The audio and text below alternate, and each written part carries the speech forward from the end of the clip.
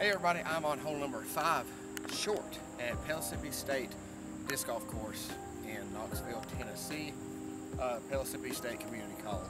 Uh, this one is two,